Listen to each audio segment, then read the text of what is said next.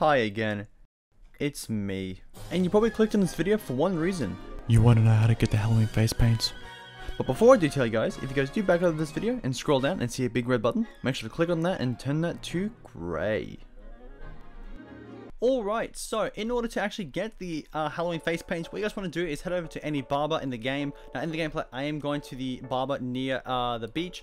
Now from here, what you guys want to do is scroll down to face paints, and then you will need to scroll down a little bit uh, until you see the face paints. Now in the gameplay, I only do have four. Now the reason behind this is because uh, the face paints aren't actually in the game yet. However, by the time this video does release, um, it should come out as a guess. Um, now the thing is, now as a guess, the reason why I think the update will come out today or in a few hours by the time I'm recording this is usually because Rockstar does release Halloween content midway through October because I swear for some reason Rockstar loves Halloween and they like to release stuff early, uh, whereas Christmas is the exact opposite. They like to release it last minute.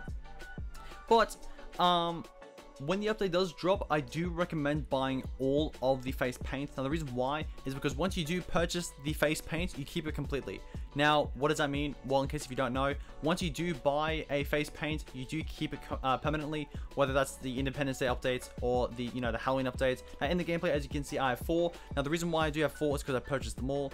Um, but yeah, now, that's really about it for, you know, how to get the face paints. Now, I do want to move over really quickly uh, to say that I am planning on making, uh, you know, unique outfits, you know, outfits based off, you know, characters from, you know, certain movies. You know, Friday the 13th, we have Jason. You know, I've got Freddy Krueger from Nightmare on Elm Street.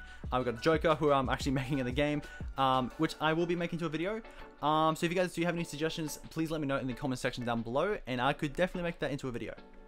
But anyways, that will be a wrap up for today's video. If you haven't already, make sure to drop a like and subscribe for more, as we're currently on the road to 4,000 subscribers. Um, but uh, anyways, uh, I'm out. Bye guys. Yo, yo, yo! Ah!